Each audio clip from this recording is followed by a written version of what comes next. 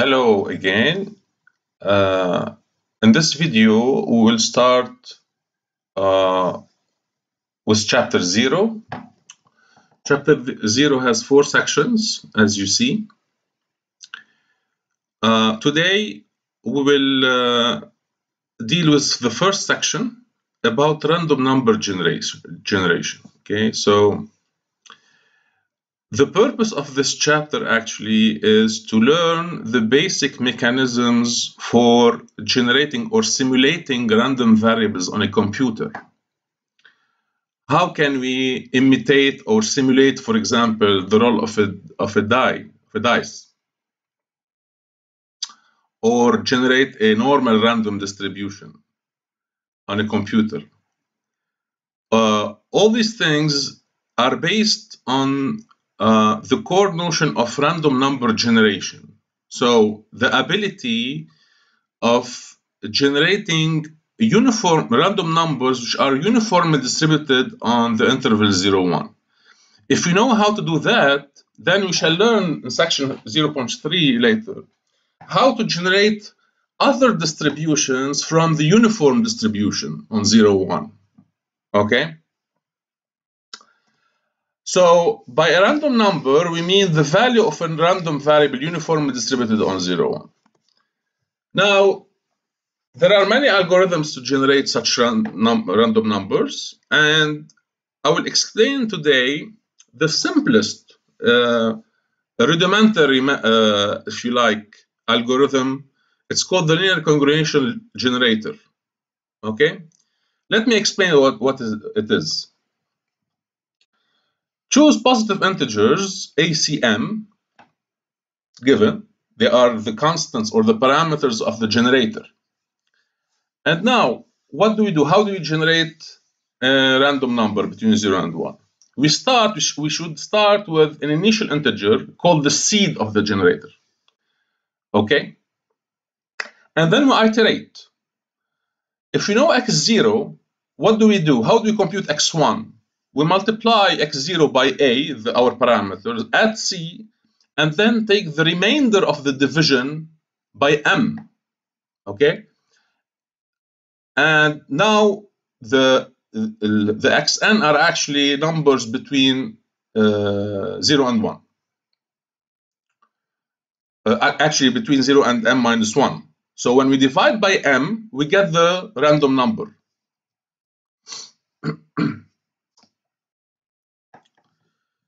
Okay?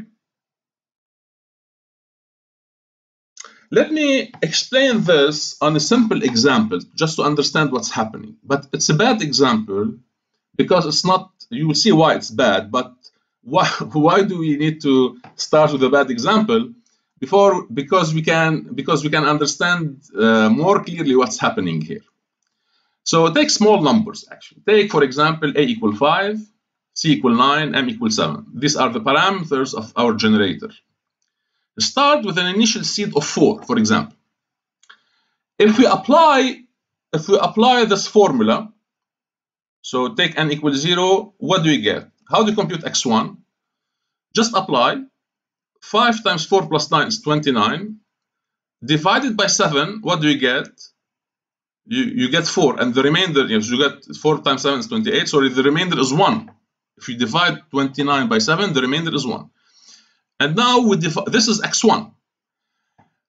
Now x1, okay, so if we divide by m, which is 7, we get our first random generator, which is 1 over 7. Okay, very good. And now we reiterate.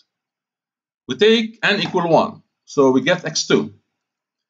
Multiply the previous result by 5, you know, 1, multiply 1 by 5 and add 9, and divide by 7.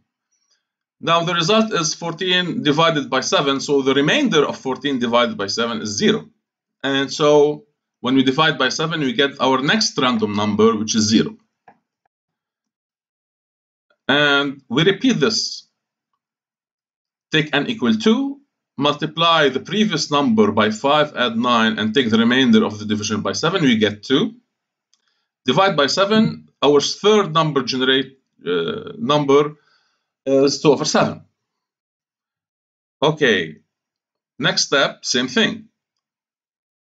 x4 equal 5, and the number, the random number is 5 over 7. Next step, same thing, x5 equals 6. And so the fifth number, uh, random number is 6 over 7.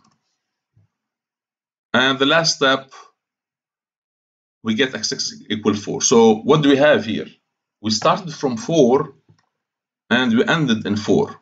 Okay. Meanwhile, we generated six random num uh, random numbers. Okay. Now you tell me that they are not. Uh, there's nothing random here. It's true.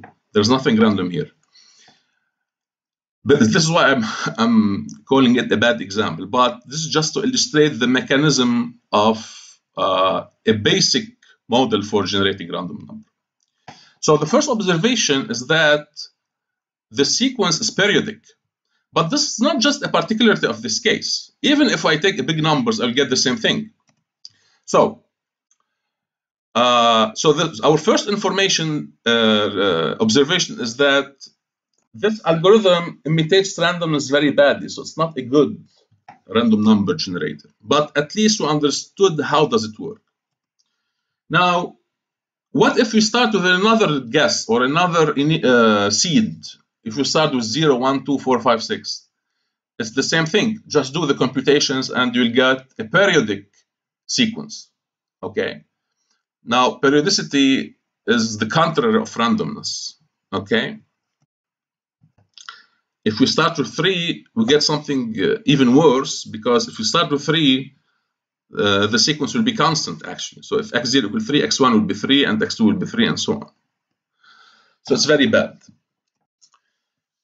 Now, as I was telling you, this is not just specific to this our, to this choice of specific small numbers. Even if we take larger numbers, the problem is that the, the computer's memory is finite, so it can only store a finite number uh, number of numbers. Okay, so but it could be, it could be very large actually, it could be trillions of trillions.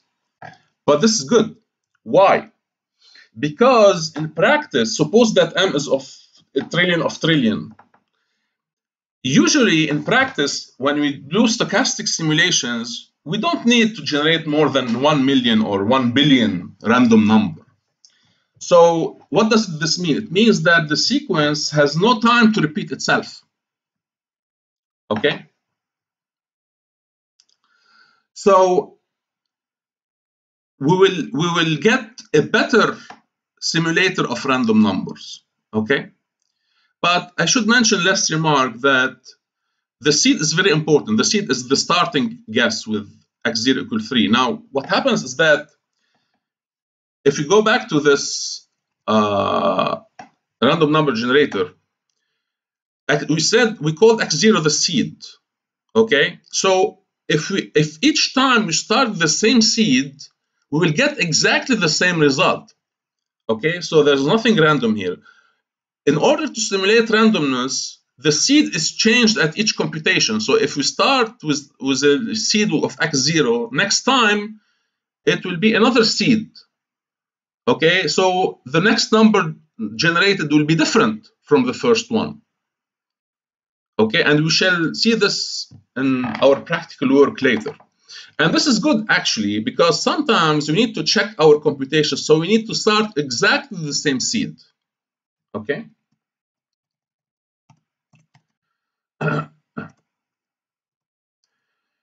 now, the choice of the coefficients is still a research problem.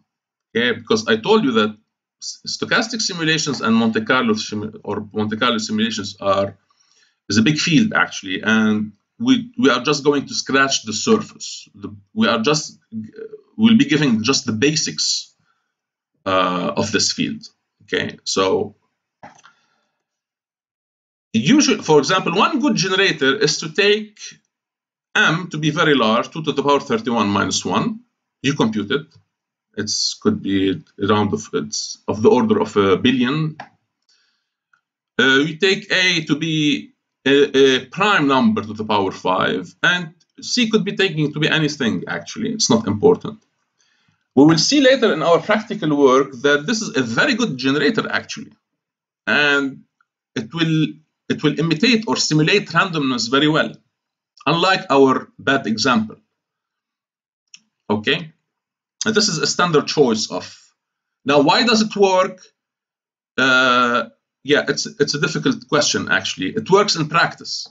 Okay, so I'm not going to uh, dig into the theory of uh, random number generations because it's still a field of research. Uh, but in, in, practice, it gives very good results, and you shall see this in the next video. Okay.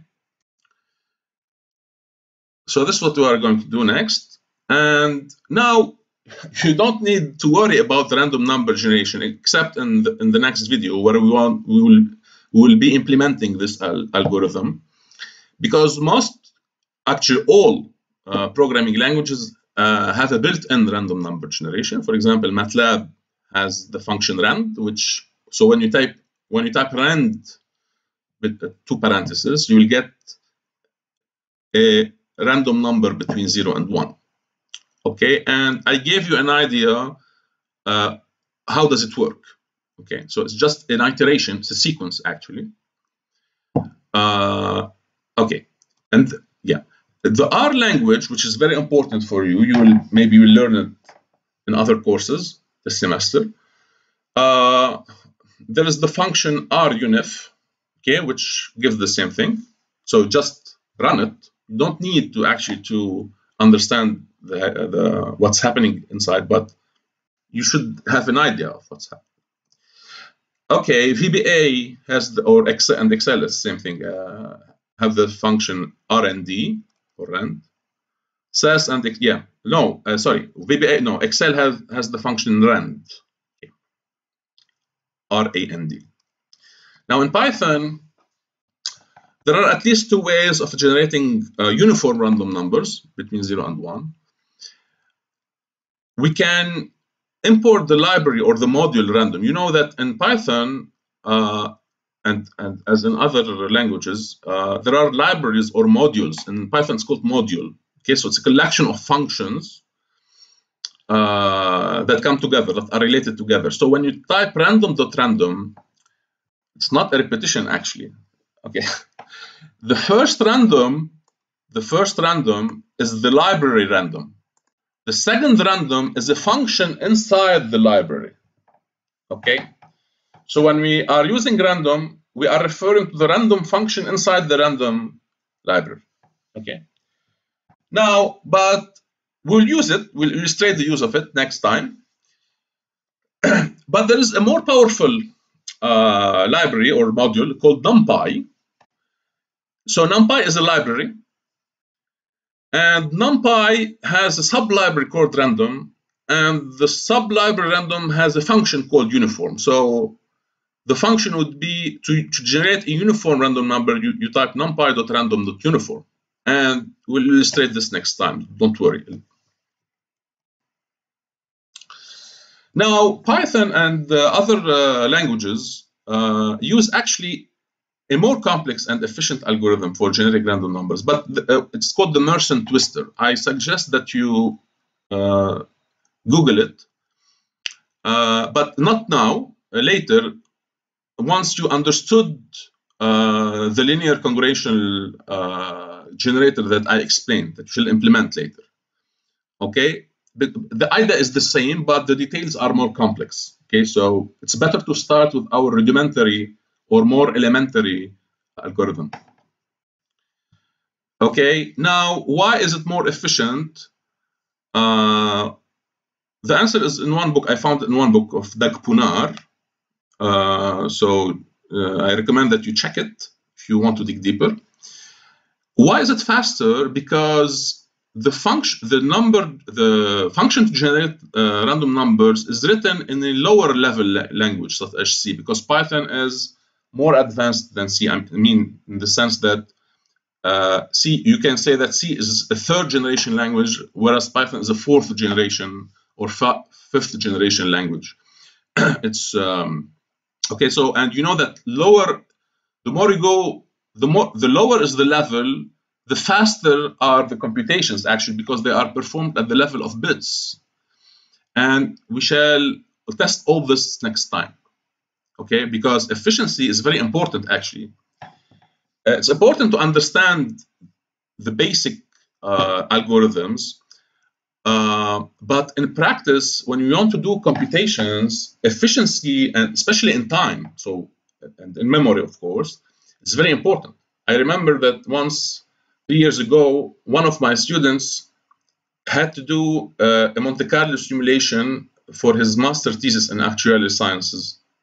And he told me that he, he did that on Excel or something like that.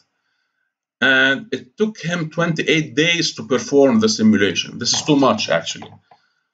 Uh, I think that if he if he did it in Python, it would have been much faster. So time performance and memory is very are very important actually. You, okay. Uh, yeah. So as I told you, uh, once you understood the concept of uh, what, uh, linear congruential uh, number algorithm, you can search for the bet the, be the better Mersenne Twister algorithm, if you like. Okay, so just do things in steps. Okay, so let us go step by step. I will talk more about efficiency and time, especially time efficiency later. shall test everything that I'm okay. So all these random number generators are have the, are based on the same idea. Okay, we start we start with an initial seed, and we construct a sequence inductively by iterating the function f. Okay, now the function f can be complicated. okay, so the, you remark that actually you, you may tell me, well, if you start with an initial number and iterate this, there's nothing random. You are right, there's nothing random actually. Because if you start exactly the same from the, initial uh, value, we'll, we'll reach the same thing, the same numbers. Okay, we'll see this next time. So this is why actually, to be precise, these random numbers that we are generating are called pseudo-random numbers. Okay, they are not really random. And so, but the, but actually they imitate randomness. Okay, and uh, for any practical purpose, it will be enough actually. Okay, and but now there's a big question actually: Does randomness really exist? It's a big question. Some people doubt. Okay. For example, if what we don't understand, we call it random. What we cannot control, we, we call it random. Okay. At, so because they appear to behave in a random way. But if you see in this, uh, everything is deterministic. Okay, because if you start with the same value, you get the same result. Okay. Anyway, this is a difficult question. Uh, so now um, I will uh, stop here because I want to give you some time to organize yourself because I know that you are taking other uh, online courses. So I want to give you time to install Python, maybe to take uh, a course online uh, and next time, we will be implementing the ideas of today uh, today's video in Python. Actually, not the next time, the next the the time after that, because I want to do a quick overview of the possibilities of Python in a short video next time. And after that, we will be implementing uh, our congruential linear congruential generator. Okay, so Okay, so I will leave you for now and see you next time. Okay, thank you for your attention.